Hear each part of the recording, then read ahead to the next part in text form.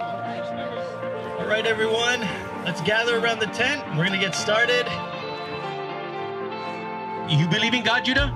Yes. Yes, you believe in God, right? So because you believe in God, then what will happen? I'll go to heaven. Yes. And who's in heaven?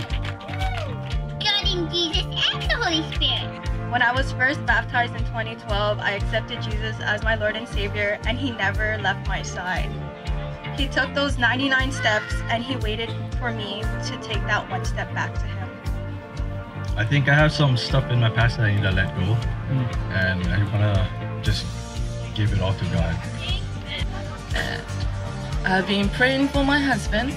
We have been praying for your husband. Yes, we have been praying, and uh, I want to do this together as one. So, Lord, we just thank you for those who are taking the step of faith today to enter into the waters of baptism, to go down beneath the surface, dying to the old self, dying to the old desires, the old flesh, Father God, and rising up a new creation, a new creation in you because of what you have done for us on the cross.